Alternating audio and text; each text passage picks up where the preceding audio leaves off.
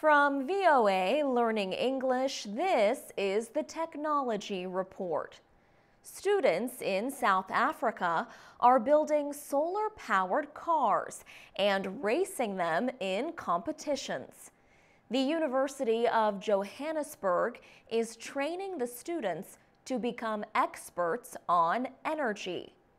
Their 300 kilogram solar powered car can travel at a speed of more than 100 kilometers an hour through the countryside. The car uses less electric power than a coffee maker or food processor. The young engineers who built the vehicle drove it in a racing event called the Solar Challenge. The race is for vehicles that use alternative forms of energy. Keegan Smith is a former manager of the project and a lecturer at the University of Johannesburg. He says the university wants the students to learn about green energies using realistic examples. He is concerned that the continued use of coal, natural gas, and oil will destroy the planet.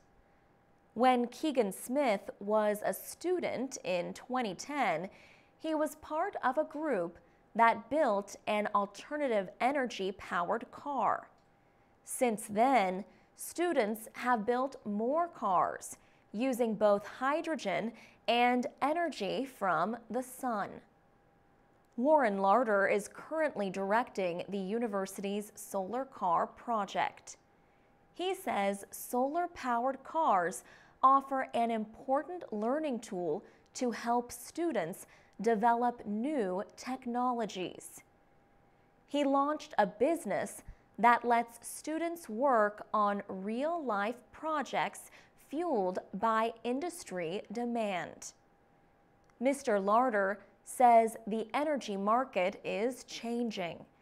He says there is a lack of experts locally in non traditional energy sources and in solar technology.